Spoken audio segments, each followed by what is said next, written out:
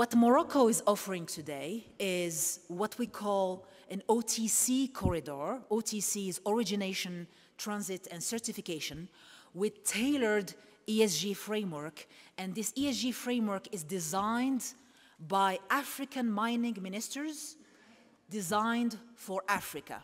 So I'm wearing my African uh, ener uh, energy and mining minister hat this morning, in addition to my environmental and sustainable development hat.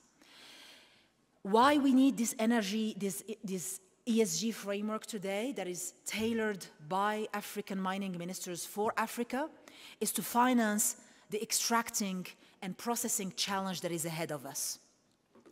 Morocco already collaborates with the organizations like the African Minerals Development Center, supported by the African Union, to harmonize mining policies and promote traceability and transparent governance in critical mineral supply chains.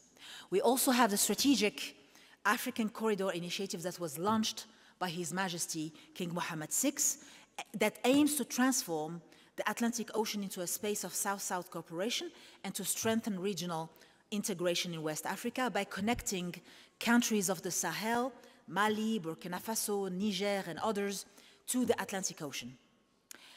OTC, origination, transit, and certify, means that any molecule, any lithium, any cobalt, any copper, any iron ore that is originating, transiting, or being certified in this Atlantic corridor via Morocco can benefit from tailored ESG criteria.